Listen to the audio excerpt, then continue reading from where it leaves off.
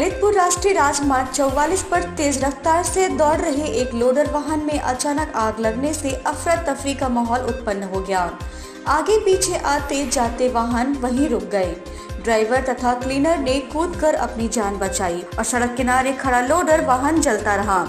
घटना कोतवाली तालबेहट के अंतर्गत ग्राम हर्षपुर हाईवे चौवालीस के नज़दीक की है, जहाँ झांसी से ललितपुर की ओर जा रहा लोडर वाहन क्रमांक यूपी तिरानबे बी टी बीस उनसठ में अचानक आग लग गई।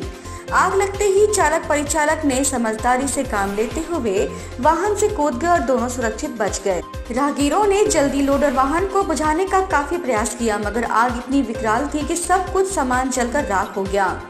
लोडर वाहन में आग कैसे लगी यह ज्ञात नहीं हो सका, मगर अनुमान लगाया जा रहा है कि हो सकता है चलती गाड़ी में कोई शॉर्ट सर्किट हुआ हो। इस वजह से गाड़ी में आग लग गई।